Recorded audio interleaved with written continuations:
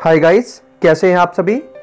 मैं हूँ हरबीर सिंह और आपके अपने study channel learn easy with Harbir Singh में आप सभी का स्वागत है।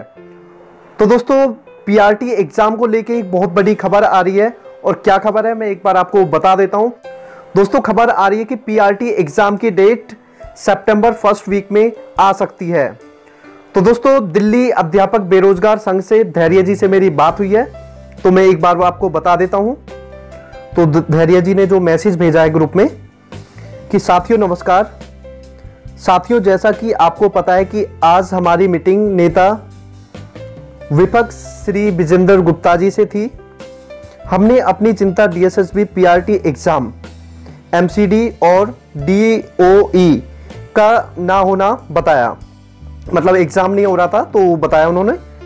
गुप्ता जी ने हमारी बात सुनी और तुरंत डीएसएसबी के अधिकारी से बात की और समय से पेपर करवाने की बात कही।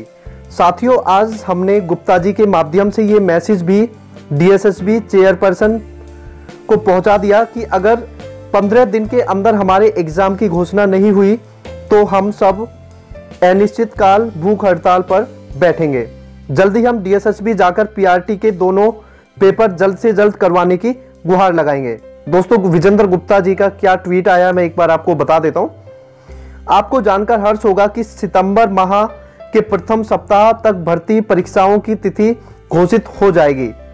और वो सभी उम्मीदवार जो रद्द परीक्षा में बैठे थे, वो बिना नया आवेदन करे भर्ती परीक्षा दे सकेंगे। तो दोस्तों, दिल्ली अध्यापक बेरोजगार संघ से कहा गया है, आपने अगर नोट किया हो कि अगर उनके एग्ज़ाम की डेट नहीं आती है तो वो भूख हड़ताल पर बैठेंगे। तो दोस्तों, बात बिल्कुल सही है, क्योंकि पीआरटी एग्ज़ाम कैंसिल हो गया, उसके बाद री एडवर्टाइजमेंट हुआ है दो बार, और अभी भी एग्ज़ाम की डेट नहीं आ रही है, और बचे हुए सारे एग्ज़ाम्स होने वाले हैं। तो दोस्तों पीआरटी जो कैंडिडेट्स हैं, उनका आक्रोश बिल्कुल जायज़ है, और देखते हैं अब क्या होता है।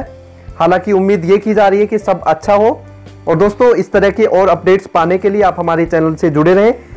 तो दोस्तों, अगर आप स्टडी मटेरियल्स चाहते हैं, किसी भी गवर्नमेंट जॉब की तैयारी कर रहे हैं सी की तैयारी कर रहे हैं तो आप मुझे अन अकेडमी पर भी फॉलो कर सकते हैं। अन अकेडमी का लिंक दोस्तों डिस्क्रिप्शन बॉक्स में है, आप मुझे वहाँ से फॉलो कर सकते हैं। तो दोस्तों good bye take care thank you